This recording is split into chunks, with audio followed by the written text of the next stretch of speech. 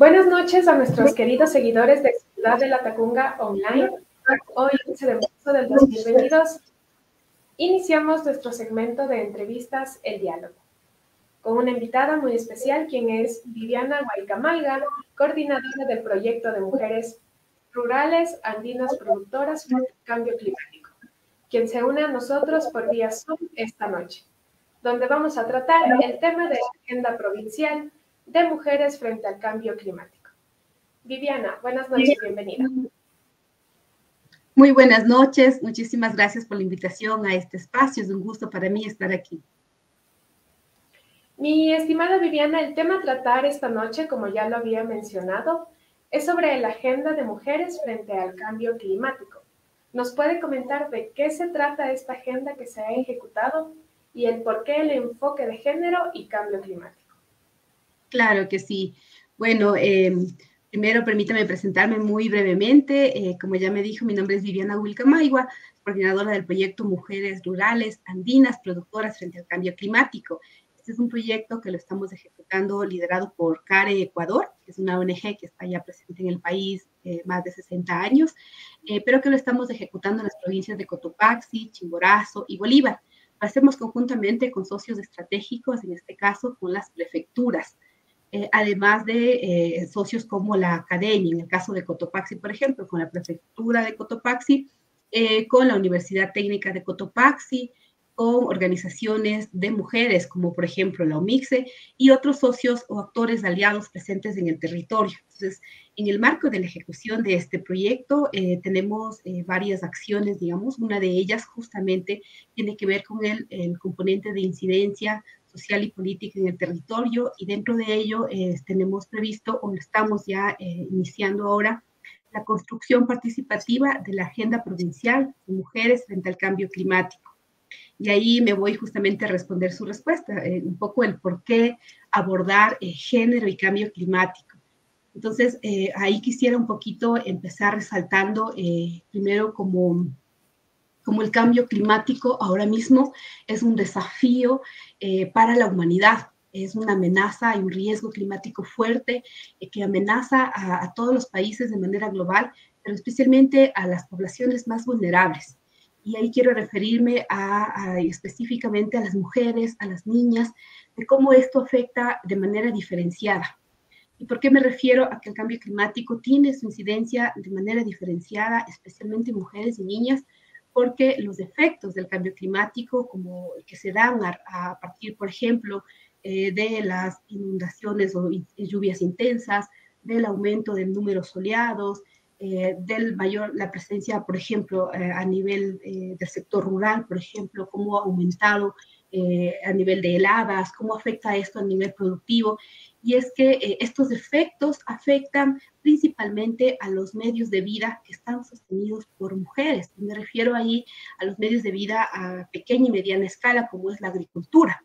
La agricultura a pequeña y mediana escala eh, se ha visto afectada por el cambio climático. Pero quien sostiene estos, medios de vida son principalmente las mujeres.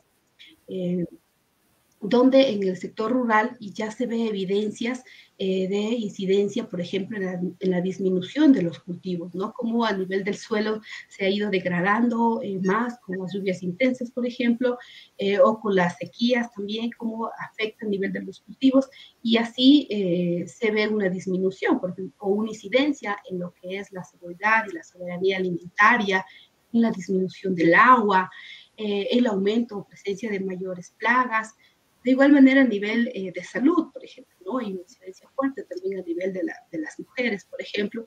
Entonces hay una serie de indicadores que nos dicen que estos efectos del cambio climático ah, aumentan las brechas eh, de desigualdad de las mujeres, ¿no? Estas condiciones, aumentando sus condiciones, por ejemplo, de vulnerabilidad, eh, sus condiciones de, de, riesgo. Entonces, por ello es importante para nosotros, en primer lugar, entender cuál es la situación, cómo en cada uno de los territorios estos efectos del cambio climático se están dando. Entonces hace muchísimo, nos hace falta muchísimo seguir entendiendo, ¿no? ¿Qué está pasando con las mujeres a nivel rural, a nivel urbano? ¿Cómo esto está afectando a la población? Em, Entonces, eh, para nosotros eso es un primer punto de partida, entender qué es lo que está pasando, pero a partir de ello también un poco eh, cómo recoger esas demandas, cómo recoger esas ideas, esas visiones, esos planteamientos también desde las mujeres. O sea, ¿qué debería contemplarse en una agenda de política pública eh, que, que hable justamente sobre el cambio climático? Entonces, de ahí la relevancia de lo importante de tener espacios de diálogo donde podamos escuchar a las mujeres, eh, de qué es lo que está pasando, pero también cuáles son esas alternativas, esos planteamientos. Eh, y ahí es que estamos ahora mismo iniciando un proceso de construcción en el territorio, en este caso en Cotopaxi, de esta agenda provincial de mujeres frente al cambio climático, que nos permita recoger estas distintas visiones, pero no solo desde las mujeres eh, urbanas, rurales, sino también estamos hablando desde los colectivos sociales, desde las instituciones, desde los distintos actores que ahora mismo están en el territorio. Y ahí, por ejemplo, hemos, hemos socializado, por ejemplo, ya este proceso y eh, contamos o existe el interés de participar, por ejemplo, de la FAO, Fundación eh, la Fundación Maquita, eh, con la OMIXE, como les decía, con la misma prefectura, liderado por la prefectura, efectivamente, con las juntas parroquiales, con organizaciones, asociaciones de mujeres productoras. Estamos invitando más bien a que este sea un proceso amplio, un proceso a que nos sumemos y podamos desde, eh, desde la construcción de esta agenda, podamos ahí plantear estas ideas que deberían recogerse desde el territorio. Este proyecto se está ejecutando eh, a nivel de la provincia de Cotopaxi. ¿Qué sectores nomás serán beneficiados? Ahora mismo estamos directamente trabajando en Tocaso, Tanicuchí, Pastocalle. Estamos en estas tres parroquias. Em, usted nos dice que entidades públicas y están, se encuentran activas en este proyecto. ¿Cuáles nomás son? Sí, ahí yo quisiera, por ejemplo, eh, hacer mención, a, en primer lugar, a la prefectura de Cotopaxi, que existe el interés político, el apoyo político de eh, impulsar este tipo de procesos, ¿no? Que, que tiene que ver con una, una, construcción desde el territorio, pero que a la final una agenda eh, agenda por agenda o que quede un bonito documento no, no basta, ¿no? Es necesario que esté anclado en la política pública del territorio. Entonces, así que este instrumento, por ejemplo, estará alineado a los instrumentos que ya existen, como por ejemplo la Agenda Provincial de la Igualdad, como la Agenda Política Social de las Mujeres, como la Estrategia Provincial de Cambio Climático, el propio PDOT, además que esté anclado también, por ejemplo, a instrumentos nacionales, como el Plan Nacional eh, de Género y Cambio Climático, que ahora mismo es una propuesta que ya está construida eh, en un proceso de revisión y aprobación, eh, pero que eh, es un instrumento que existe ya y que debe estar alineado, ¿no? Esta propuesta que decimos que tiene que surgir desde el territorio, pero que va a estar anclada necesariamente a estos otros instrumentos. Y ahí me gustaría un poco mencionar un poco el proceso, cómo lo estamos planteando.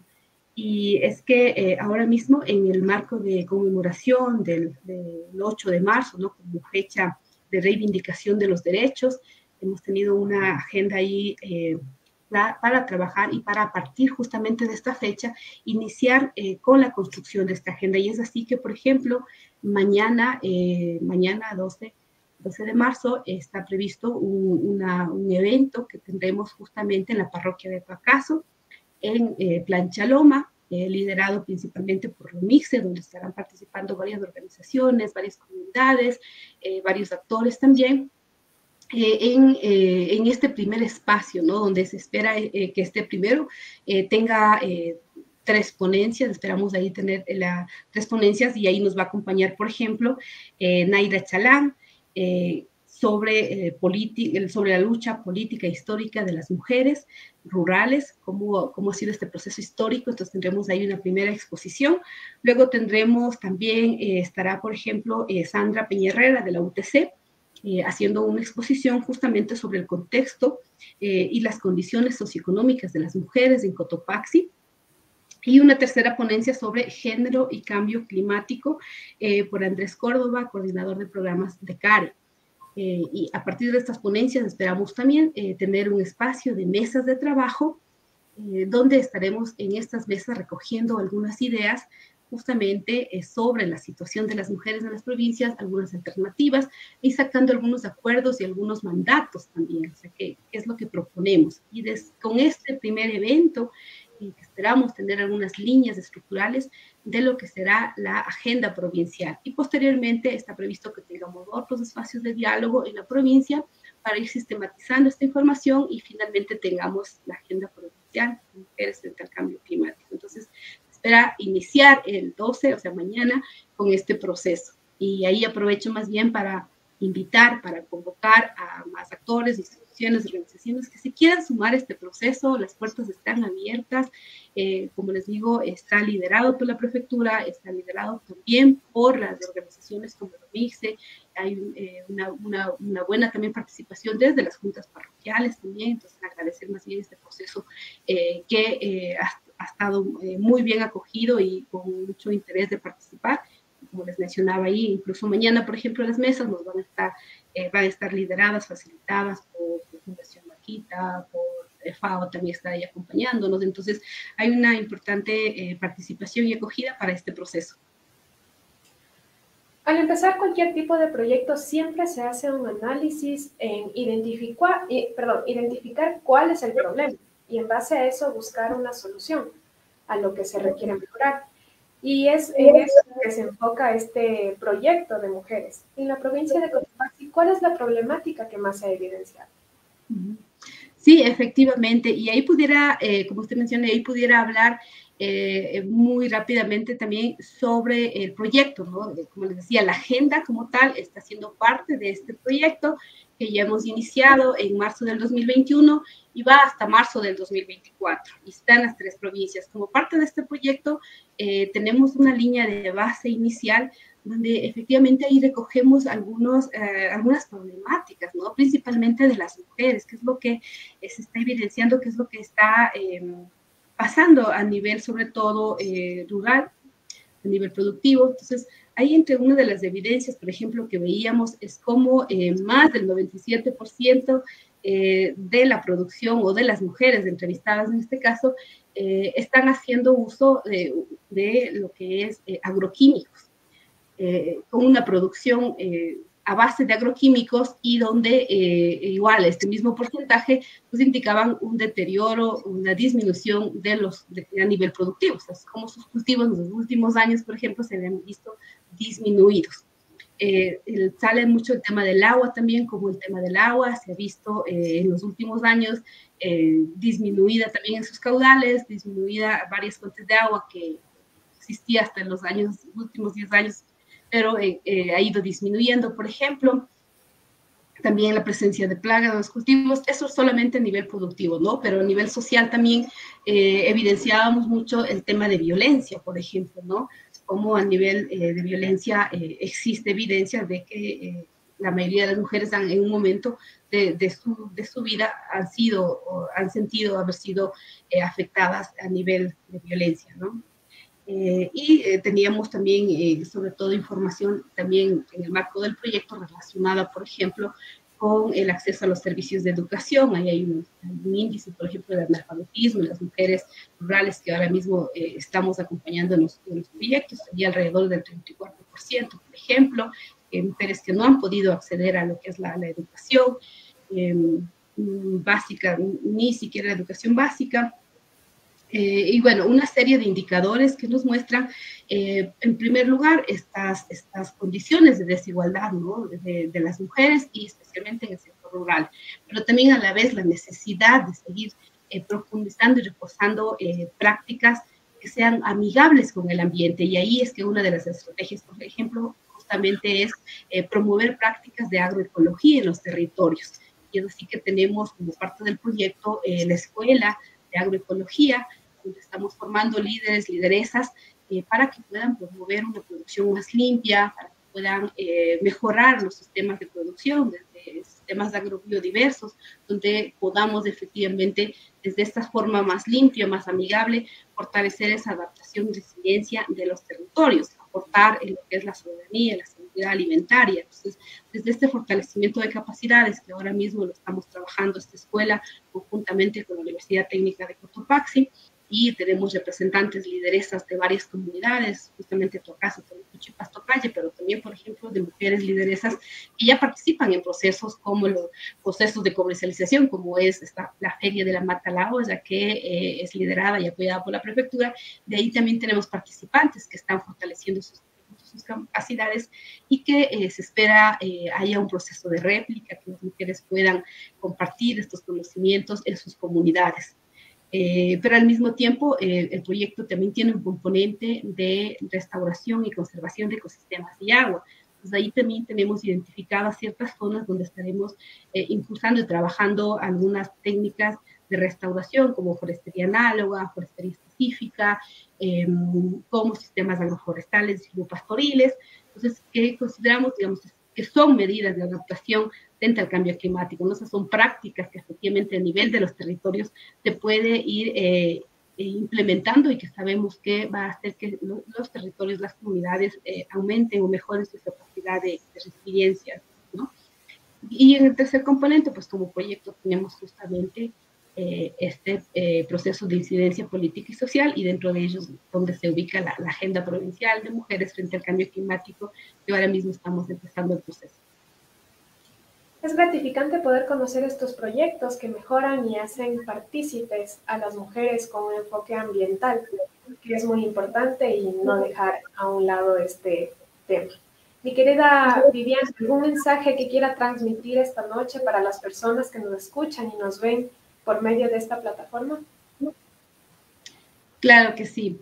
Decir que em, sigamos impulsando este tipo de procesos, decir que están convocados a ser parte de la construcción participativa de esta agenda, que tendremos una, eh, una tenemos una hoja de ruta donde habrán varios espacios justamente eh, con la ciudadanía, con la colectividad, con las organizaciones y que esperamos de ahí sean partícipes y podamos eh, poner ahí justamente recoger esas voces, esas ideas desde, desde el territorio. Entonces, este espacio, eh, este proceso es un proceso abierto de construcción colectiva y que em, mañana va a ser el inicio pues que les esperamos también en este espacio que tenemos el día de mañana.